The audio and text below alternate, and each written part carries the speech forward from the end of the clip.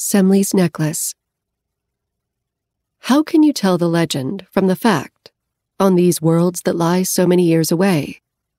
Planets without names, called by their people simply the world, planets without history, where the past is the matter of myth, and a returning explorer finds his own doings of a few years back have become the gestures of a god. Unreason darkens that gap of time bridged by our light speed ships, and in the darkness, uncertainty and disproportion grow like weeds.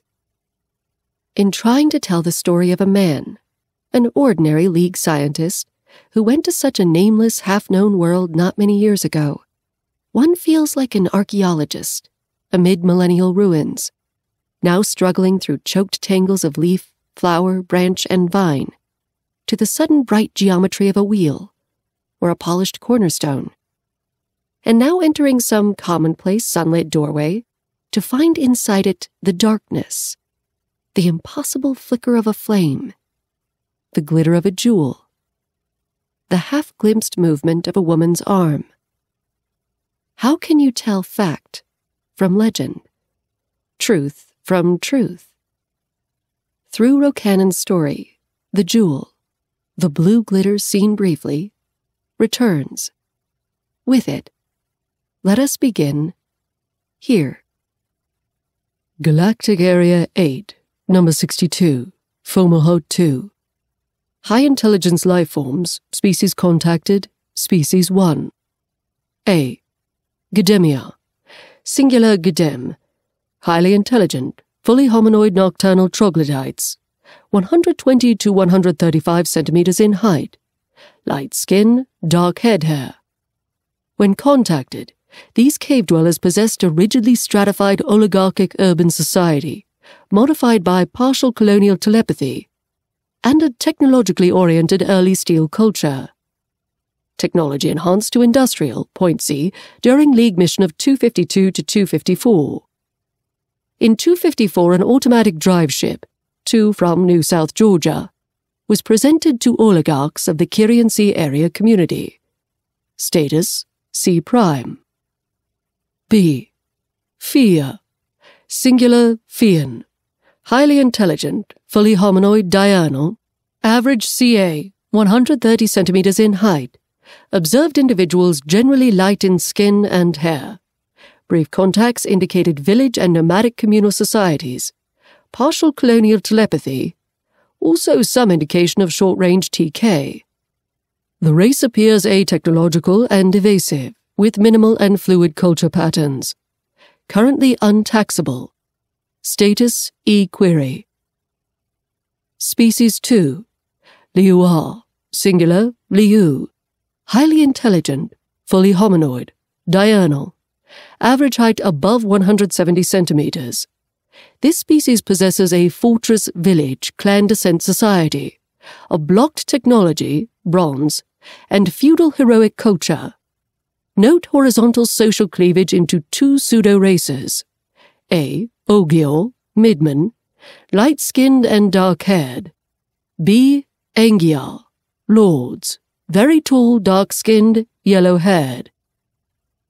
That's her, said Rocannon, looking up from the abridged handy pocket guide to intelligent life forms at the very tall, dark skinned, yellow haired woman who stood halfway down the long museum hall.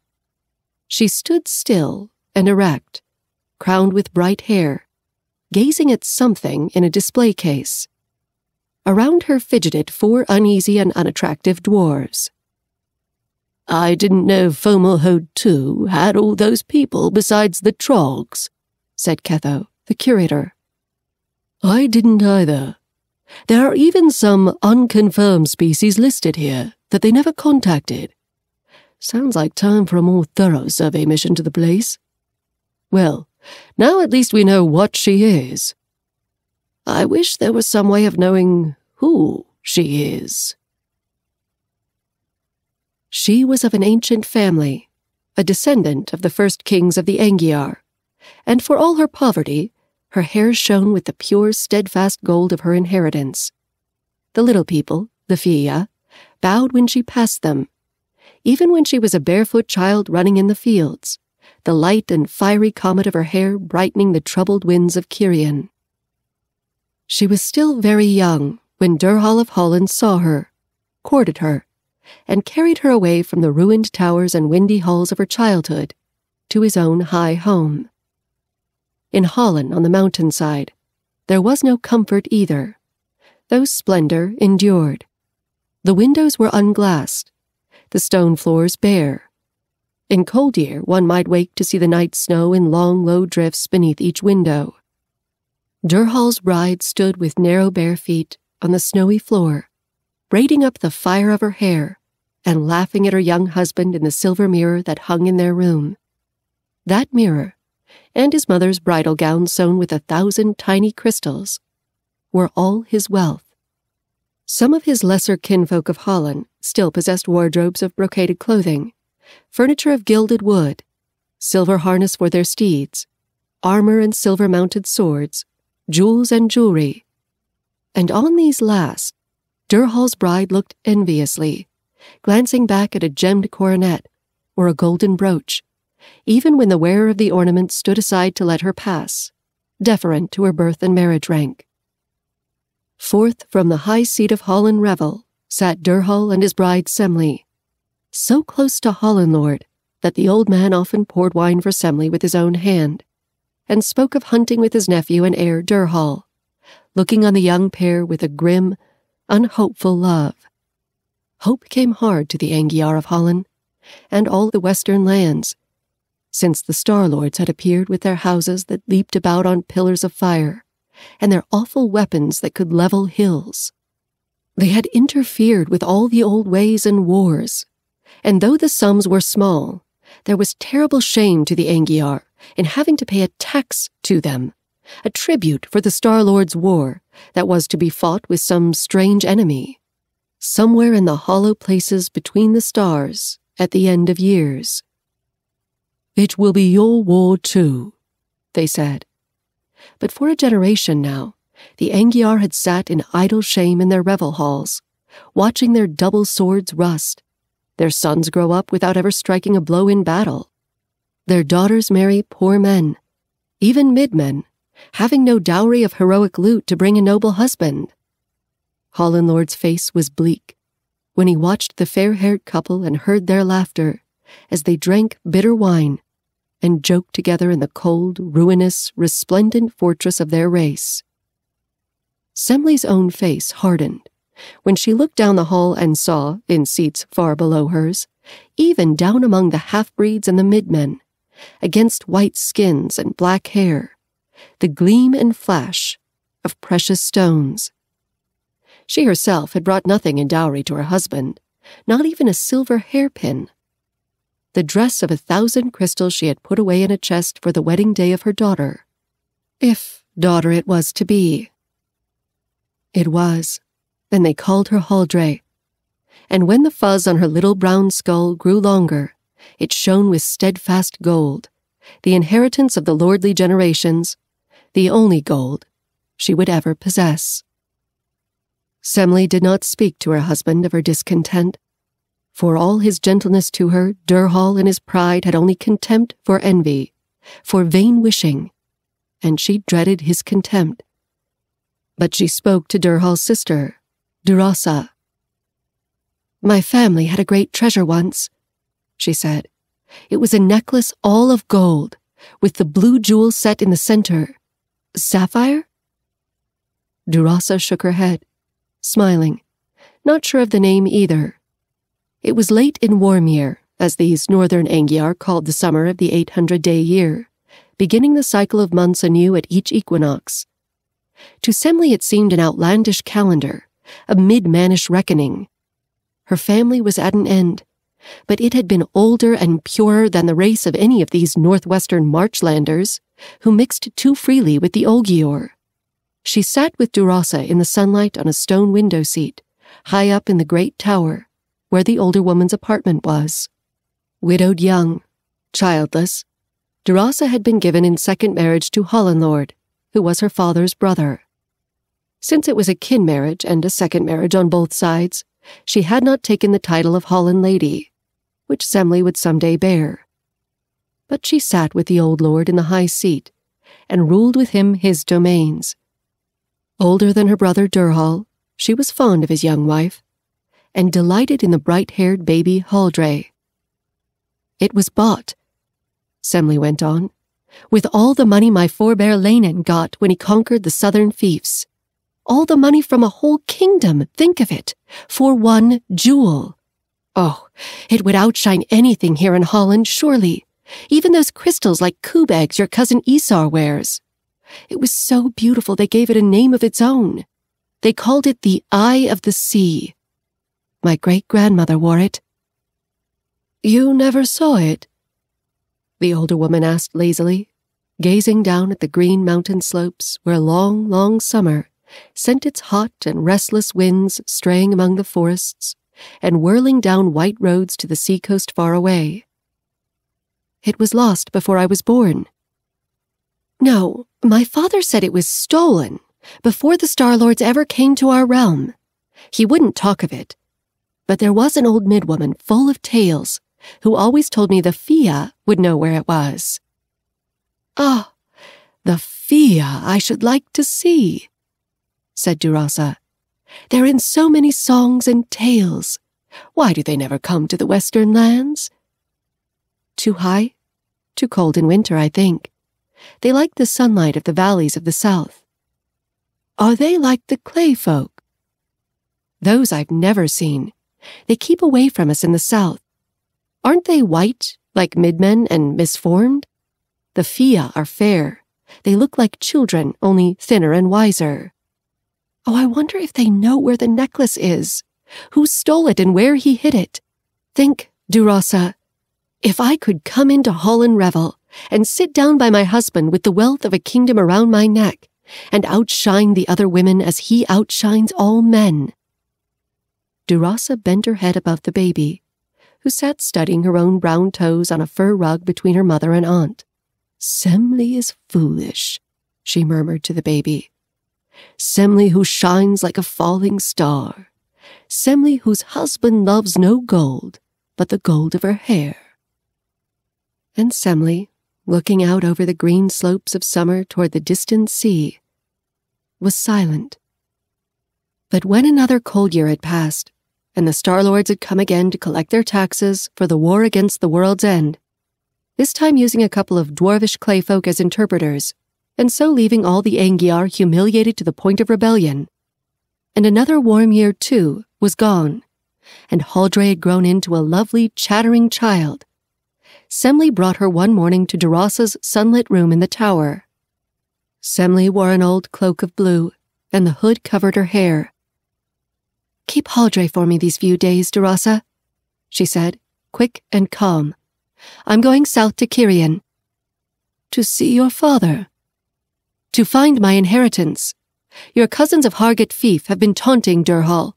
Even that half-breed Parna can torment him, because Parna's wife has a satin coverlet for her bed, and a diamond earring, and three gowns. The dough-faced, black-haired trollop, while Durhal's wife must patch her gown. Is Durhal's pride in his wife, or what she wears? But Semley was not to be moved. The lords of Hallan are becoming poor men in their own hall.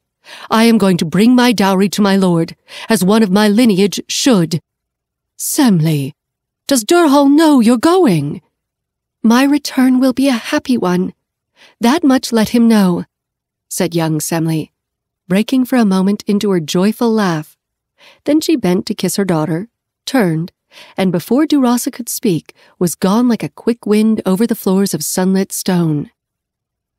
Married women of the Angyar never rode for sport, and Semley had not been from Hallan since her marriage. So now, mounting the high saddle of a wind steed, she felt like a girl again, like the wild maiden she had been, riding half-broken steeds on the north wind over the fields of Kirien. The beast that bore her now down from the hills of Hallan was of finer breed, striped coat fitting sleek over hollow, buoyant bones, green eyes slitted against the wind, light and mighty wings sweeping up and down to either side of Semley, revealing and hiding, revealing and hiding the clouds above her and the hills below. on the third morning, she came to Kirien and stood again in the ruined courts. Her father had been drinking all night, and just as in the old days, the morning sunlight poking through his fallen ceilings annoyed him, and the sight of his daughter only increased his annoyance. What are you back for? he growled, his swollen eyes glancing at her and away. The fiery hair of his youth was quenched, gray strands tangled on his skull. Did the young Hala not marry you, and you've come sneaking home? I am Durhal's wife. I came to get my dowry, father. The drunkard growled in disgust, but she laughed at him so gently that he had to look at her again, wincing. Is it true, father, that the Fiia stole the necklace Eye of the Sea? How do I know? Old tales. The thing was lost before I was born, I think. I wish I never had been. Ask the Fiia if you want to know. Go to them. Go back to your husband. Leave me alone here. There's no room at Kirien for girls and gold and all the rest of the story. The story's over here. This is the fallen place. This is the empty hall. The sons of Lane and all are dead. Their treasures are all lost. Go on your way, girl. Gray and swollen, as the web spinner of ruined houses, he turned and went blundering toward the cellars where he hid from daylight.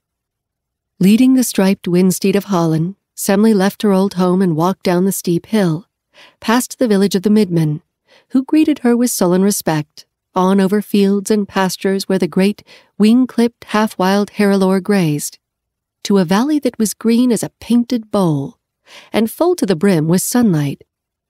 In the deep of the valley lay the village of the Fiia, and as she descended, leading her steed, the little slight people ran up toward her from their huts and gardens, laughing, calling out in faint, thin voices. Hail, Hala's bride, Kirien lady, Windborn, Semley the fair. They gave her lovely names, and she liked to hear them, minding not at all their laughter, for they laughed at all they said. That was her own way, to speak and laugh. She stood tall in her long blue cloak among their swirling welcome. Hail, light folk, sun dwellers, Fiia, friends of men. They took her down into the village and brought her into one of their airy houses, the tiny children chasing along behind. There was no telling the age of a Fian once he was grown. It was hard even to tell one from another and be sure, as they moved about quick as moths around a candle, that she always spoke to the same one. But it seemed that one of them talked with her for a while as the others fed and petted her steed, and brought water for her to drink, and bowls of fruit from their gardens of little trees. It was never the Fiia that stole the necklace of the lords of Kirien, cried the little man. What would the Fiia do with gold, lady? For us there is sunlight in warm year, and in cold year the remembrance of sunlight, the yellow fruit, the yellow leaves in end season, the yellow hair of Our Lady of Kirien, no other gold. Then it was some midman stole the thing?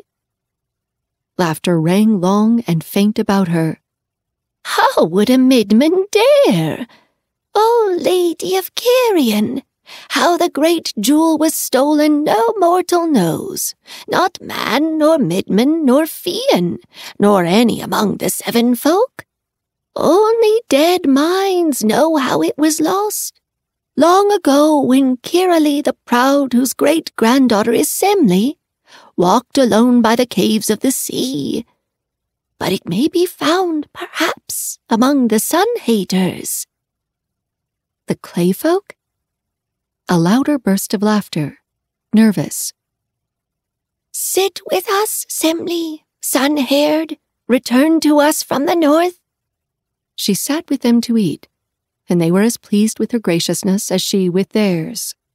But when they heard her repeat that she would go to the clay folk to find her inheritance, if it was there, they began not to laugh, and little by little there were fewer of them around her. She was alone at last with perhaps the one she had spoken with before the meal. Do not go among the clay folk, Semley, he said. And for a moment her heart failed her. The Fian, drawing his hand down slowly over his eyes, had darkened all the air about them. Fruit lay ash white on the plate. All the bowls of clear water were empty. In the mountains of the far land, the Fiia and the Gdemiar parted.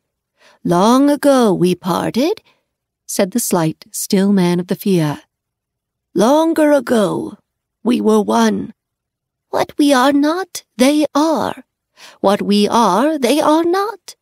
Think of the sunlight and the grass and the trees that bear fruit, Semley. Think that not all roads that lead down lead up as well. Mine leads neither down nor up, kind host, but only straight on to my inheritance. I will go to it where it is, and return with it. The Fian bowed, laughing a little. Outside the village, she mounted her striped wind steed, and calling farewell in answer to their calling, rose up into the wind of afternoon, and flew southwestward toward the caves down by the rocky shores of Kirien Sea. She feared she might have to walk far into those tunnel caves to find the people she sought, for it was said the clay folk never came out of their caves into the light of the sun, and feared even the great star and the moons. It was a long ride. She landed once to let her steed hunt tree rats while she ate a little bread from her saddlebag. The bread was hard and dry by now, and tasted of leather, yet kept a faint savor of its making, so that for a moment eating it alone in a glade of the southern forests, she heard the quiet tone of a voice and saw Durhal's face, turned to her in the light of the candles of Hallan. For a while she sat daydreaming of that stern and vivid young face, and of what she would say to him when she came home with a kingdom's ransom around her neck. I wanted a gift worthy of my husband, Lord. Then she pressed on, but when she reached the coast, the sun had set, with the great stars sinking behind it. A mean wind had come up from the west, starting and gusting and veering, and her wind steed was weary fighting it. She let him glide down on the sand. At once he folded his wings and curled his thick, light limbs under him with a thrum of purring. Semley stood holding her cloak close at her throat, stroking the steed's neck so that he flicked his ears and purred again. The warm fur comforted her hand, but all that met her eyes was gray sky full of smears of cloud, gray sea, dark sand. And then running over the sand, a low, dark creature, another, a group of them, squatting and running and stopping. She called aloud to them, though they had not seemed to see her. Now in a moment they were all around her. They kept a distance from her wind steed. He had stopped purring and his fur rose a little under Semley's hand. She took up the reins, glad of his protection, but afraid of the nervous ferocity he might display. The strange folk stood silent, staring, their thick bare feet planted in the sand. There was no mistaking them. They were the height of the Fiia, and in all else a shadow, a black image of those laughing people. Naked, squat, stiff, with lank hair and gray white skins, dampish looking like the skins of grubs. Eyes like rocks. You are the clay folk. Gdemiar are we, people of the lords of the realms of night. The voice was unexpectedly loud and deep, and rang out pompous through the salt, blowing dusk. But as with the Fiia, Semley was not sure which one had spoken. I greet you, night lords. I am Semley of Kirien, Durhal's wife of Hallan. I come to you seeking my inheritance, the necklace called Eye of the Sea, lost long ago. Why do you seek it here, Angya? Here is only sand and salt and night. Because lost things are known of in deep places, said Semley quite ready for a play of wits. And gold that came from earth has a way of going back to the earth. And sometimes the maid, they say, returns to the maker. This last was a guess. It hit the mark. It is true. The necklace Eye of the Sea is known to us by name. It was made in our caves long ago and sold by us to the Angyar. And the blue stone came from the clay fields of our kin to the east. But these are very old tales, Angya. May I listen to them in the places where they are told? The squat people were silent a while, as if in doubt. The gray wind blew by over the sand, darkening as the great stars set. The sound of the sea loudened and lessened. The deep voice spoke again. Yes, Lady of the Angyar, you may enter the deep halls. Come with us now. There was a changed note in his voice, wheedling. Semley would not hear it. She followed the clayman over the sand, leading on a short rein her sharp taloned steed. At the cave mouth, a toothless, yawning mouth from which a stinking warmth sighed out, one of the claymen said, The air beast cannot come in. Yes, said Semley. No, said the squat people. Yes, I will not leave him here. He is not mine to leave. He will not harm you, so long as I hold his reins. No, deep voices repeated, but others broke in. As you will. And after a moment of hesitation, they went on. The cave mouth seemed to snap shut behind them, so dark was it under the stone. They went in single file, Semley last. The darkness of the tunnel lightened, and they came under a ball of weak white fire hanging from the roof. Farther on was another, and another. Between them, long black worms hung in festoons from the rock.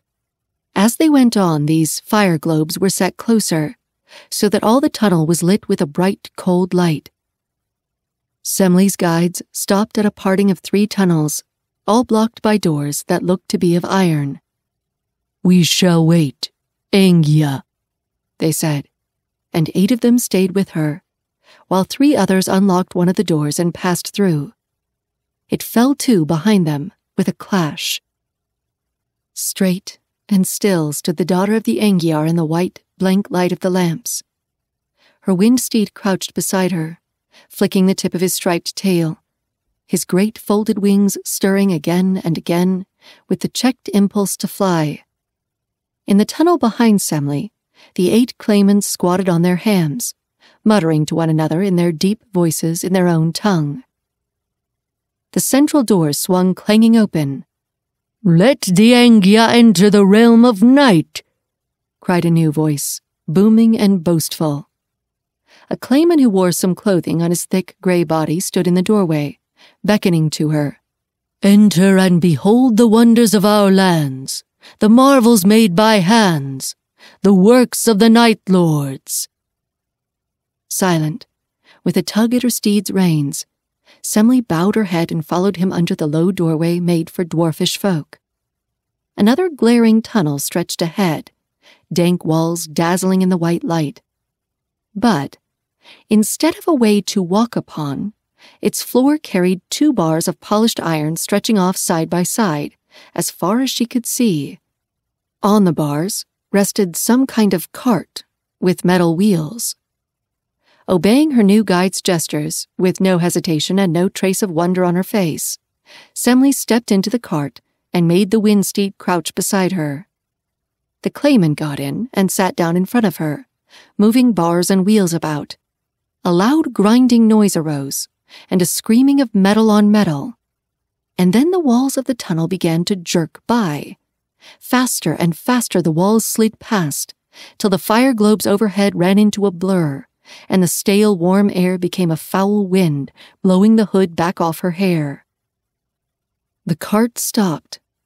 Semley followed the guide up basalt steps into a vast anteroom, and then a still vaster hall, carved by ancient waters or by the burrowing clayfolk out of the rock. Its darkness that had never known sunlight lit with the uncanny cold brilliance of the globes. In grills cut in the walls, huge blades turned and turned, changing the stale air. The great closed space hummed and boomed with noise. The loud voices of the clay folk, the grinding and shrill buzzing and vibration of turning blades and wheels, the echoes and re echoes of all this from the rock. Here, all the stumpy figures of the claymen were clothed in garments imitating those of the Star Lords divided trousers, soft boots, and hooded tunics. Though the few women to be seen, hurrying servile dwarves, were naked. Of the males, many were soldiers, bearing at their sides weapons shaped like the terrible light throwers of the Star Lords, though even Semley could see these were merely shaped iron clubs. What she saw, she saw without looking. She followed where she was led, turning her head neither to left nor right. When she came before a group of claymen who wore iron circlets on their black hair, her guide halted, bowed, boomed out, The High Lords of the Gdemiar! There were seven of them, and all looked up at her with such arrogance on their lumpy gray faces that she wanted to laugh. I come among you, seeking the lost treasure of my family, O lords of the dark realm, she said gravely to them. I seek Leynen's prize, the eye of the sea. Her voice was faint in the racket of the huge vault. So said our messengers, Lady Semley. This time she could pick out the one who spoke, one even shorter than the others, hardly reaching Semley's breast, with a white, fierce face. We do not have this thing you seek. Once you had it, it is said. Much is said, up there where the sun blinks. And words are borne off by the winds, where there are winds to blow. I do not ask how the necklace was lost to us and returned to you, its makers of old. Those are old tales, old grudges. I only seek to find it now. You do not have it now, but it may be you know where it is. It is not here. Then it is elsewhere. It is where you cannot come to it. Never, unless we help you. Then help me. I ask this as your guest. It is said, the Angyar take, the Fiia give, the Gdemiar give and take. If we do this for you, what will you give us? My thanks, Night Lord. She stood tall and bright among them, smiling. They all stared at her with a heavy, grudging wonder, a sullen yearning. Listen, Angya. This is a great favor you ask of us. You do not know how great a favor. You cannot understand. You are of a race that will not understand, that cares for nothing but wind riding and crop raising and sword fighting and shouting together. But who made your swords of the bright steel? We, the Gdemiar. Your lords come to us here and in the clay fields and buy their swords and go away, not looking, not understanding but you are here now. You will look. You can see a few of our endless marvels, the lights that burn forever, the car that pulls itself, the machines that make our clothes and cook our food, and sweeten our air and serve us in all things. Know that all these things are beyond your understanding. And know this, we the Gdemiar are the friends of those you call the Star Lords.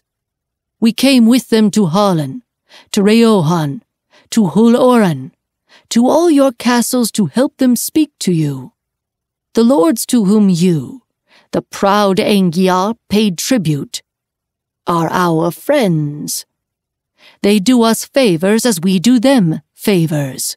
Now, what do your thanks mean to us? That is your question to answer, said Semley. Not mine. I have asked my question. Answer it, Lord. For a while the seven conferred together, by word and silence. They would glance at her and look away, and mutter, and be still. A crowd grew around them, drawn slowly and silently, one after another, till Semley was encircled by hundreds of the matted black heads, and all the great booming cavern floor was covered with people except a little space directly around her. Her wind steed was quivering with fear and irritation too long controlled, and his eyes had gone very wide and pale, like the eyes of a steed forced to fly at night. She stroked the warm fur of his head, whispering, Quietly now, brave one, bright one, wind lord. Angya, we will take you to the place where the treasure lies. The clayman with the white face and iron crown had turned to her once more. More than that we cannot do. You must come with us to claim the necklace where it lies, from those who keep it. The air beast cannot come with you. You must come alone. How far a journey, Lord? His lips drew back and back. A very far journey, lady yet it will last only one long night. I thank you for your courtesy. Will my steed be well cared for this night? No ill must come to him. He will sleep till you return. A greater wind steed you will have ridden when you see that beast again. Will you not ask where we take you? Can we go soon on this journey? I would not stay long away from my home. Yes, soon. Again the gray lips widened as he stared up into her face. What was done in those next hours, Semley could not have retold. It was all haste, jumble, noise, strangeness. While she held her steed's head, a clayman stuck a long needle into the golden striped haunch.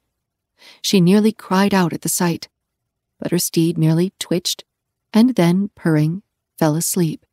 He was carried off by a group of clayfolk who clearly had to summon up their courage to touch his warm fur. Later on, she had to see a needle driven into her own arm, perhaps to test her courage, she thought, for it did not seem to make her sleep. Though she was not quite sure. There were times she had to travel in the rail carts, passing iron doors and vaulted caverns by the hundred and hundred, once the rail cart ran through a cavern that stretched off on either hand measureless into the dark, and all that darkness was full of great flocks of herilor. She could hear their cooing, husky calls and glimpse the flocks in the front lights of the cart. Then she saw some more clearly in the white light, and saw that they were all wingless and all blind. At that, she shut her eyes, but there were more tunnels to go through and always more caverns, more gray lumpy bodies and fierce faces and booming, boasting voices, until at last they led her suddenly out into the open air. It was full night. She raised her eyes joyfully to the stars and the single moon shining, little Helike brightening in the west. But the clay folk were all about her still, making her climb now into some new kind of cart or cave, she did not know which. It was small, full of little blinking lights like rushlights, very narrow and shining after the great dank caverns and the starlit night. Now another needle was stuck in her, and they told her she would have to be tied down in a sort of flat chair, tied down head and hand and foot.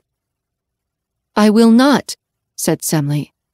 But when she saw that the four claymen who were to be her guides let themselves be tied down first, she submitted.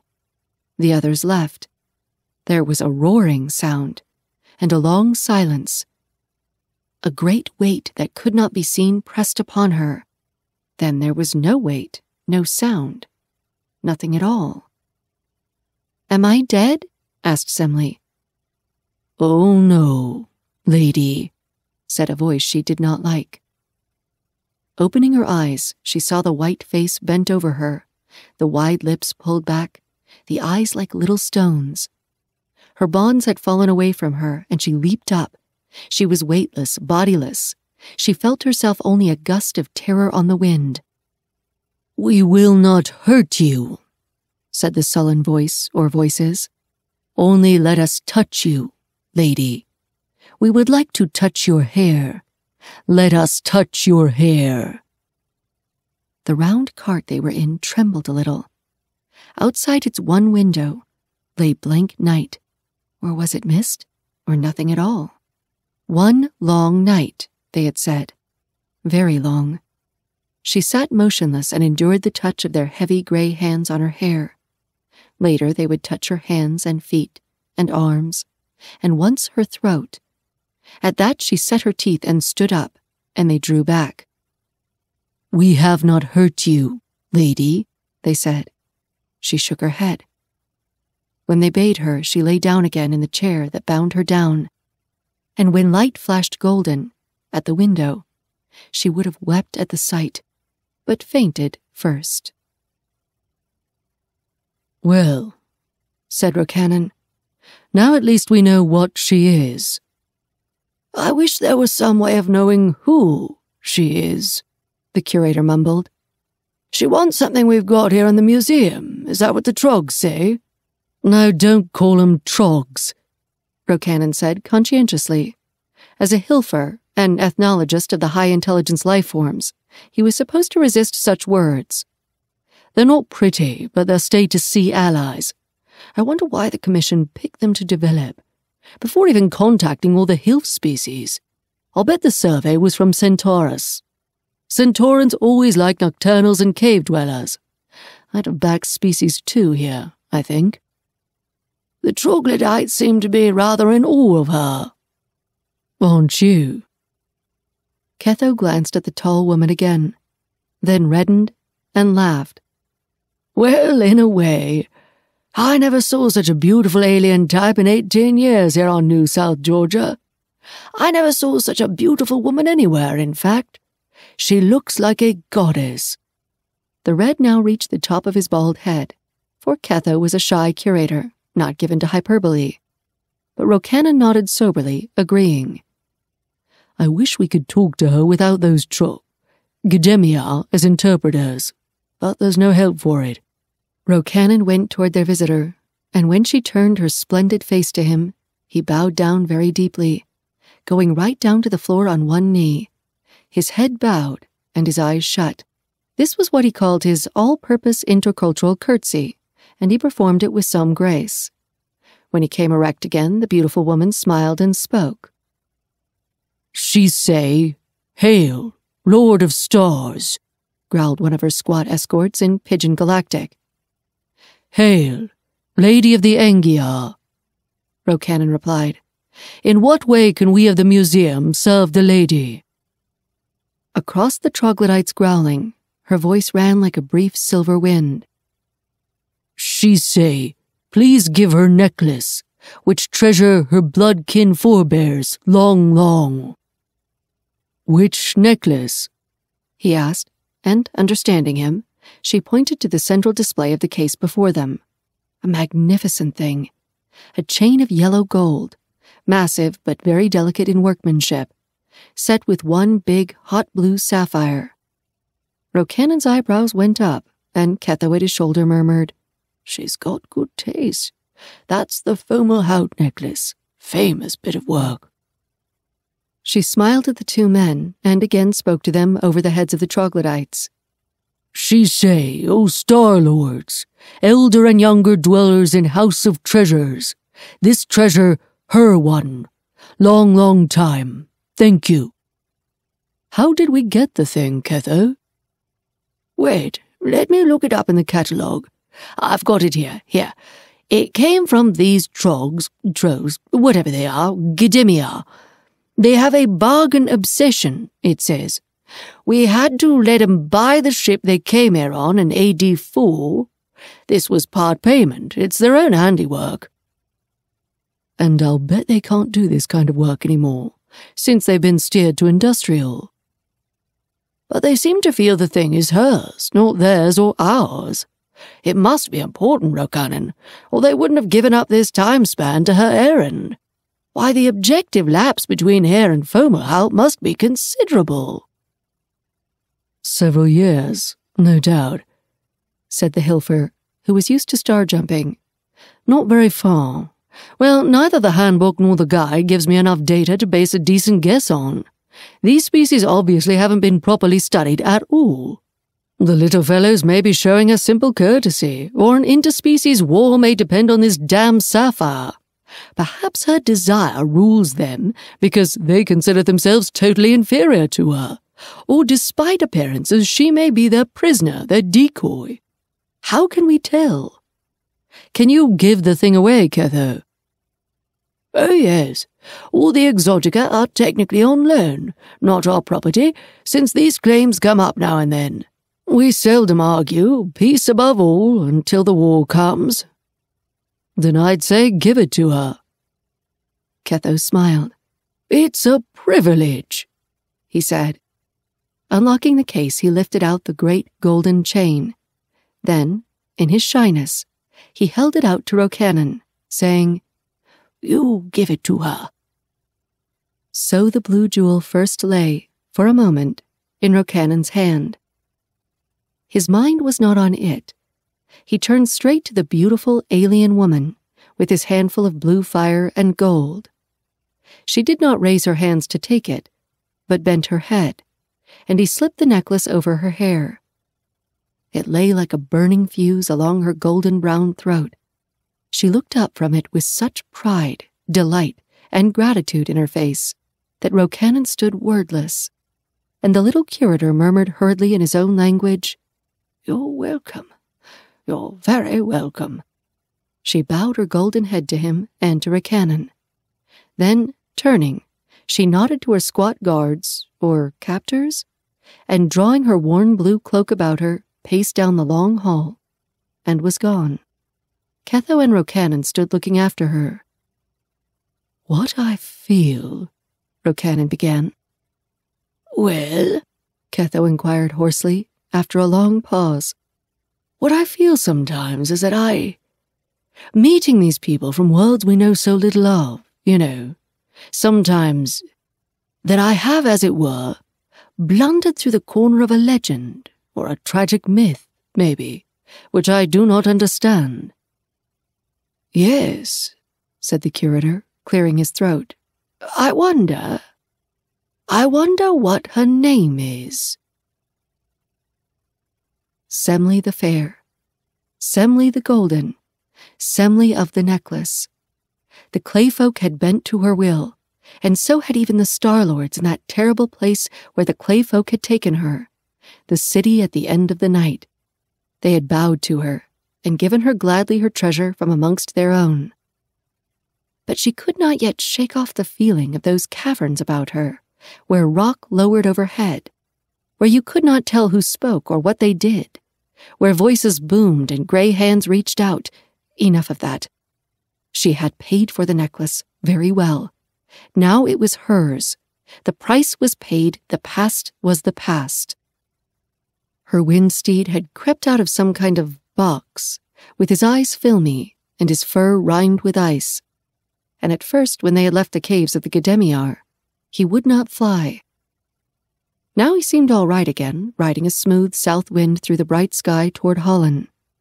Go quick, go quick, she told him, beginning to laugh as the wind cleared away her mind's darkness.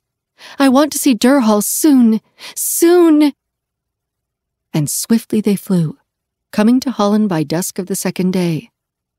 Now the caves of the clay folk seemed no more than last year's nightmare, as the steeds swooped with her up the thousand steps of Hallan and across the chasm bridge, where the forests fell away for a thousand feet. In the gold light of evening in the flight court, she dismounted and walked up the last steps between the stiff carven figures of heroes and the two gate wards, who bowed to her, staring at the beautiful fiery thing around her neck.